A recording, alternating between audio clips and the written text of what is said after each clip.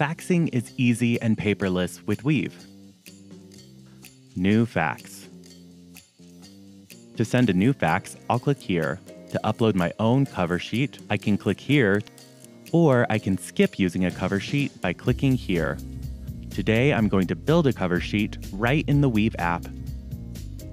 I'll make changes to the cover sheet template here, and I can use these dynamic fields to customize the cover sheet. When I'm done, I'll click here to continue. Up to 50 megabytes can be sent via a single fax. I can drag a PDF, JPEG, or PNG file into the window to upload it, or I can click here to select a file. After files are uploaded, they can be rearranged by dragging and dropping. I can also click the trash can icon to remove a file from the fax. I'll click here to continue. In the To field, I can manually type in a number or select a contact from my office's fax directory. Then I'll select the phone number or location I want this fax to be sent from. After reviewing the fax, I'll click here to send it. That's how Weave makes it easy and paperless to send and receive faxes.